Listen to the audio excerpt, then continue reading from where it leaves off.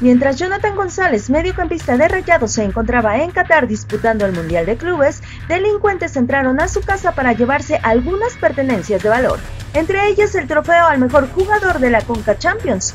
De acuerdo a los primeros reportes, los amantes de lo ajeno ingresaron al domicilio del jugador de 20 años, el cual se encontraba deshabitado y aprovecharon para saquearlo, por lo que de inmediato sus familiares pidieron ayuda mediante las redes sociales, donde crearon el hashtag devuelvan el trofeo, el cual tiene un gran valor sentimental para el joven futbolista de Monterrey.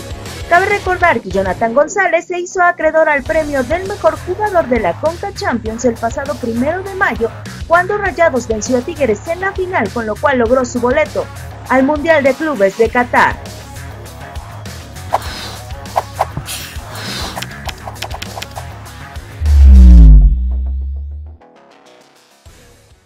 Que nos encontraste, no nos pierdas. Suscríbete a nuestro canal de YouTube de Telemundo Deportes.